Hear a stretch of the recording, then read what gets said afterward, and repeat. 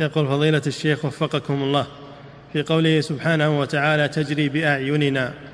هل تفسيرها بمعنى تجري بحفظنا؟ وهل هذا من التأويل؟ لا تجري بمرأ منا بمرأ منا بأعيننا يعني بمرأ منا أن الله يراها ويرعاها سبحانه وتعالى. نعم.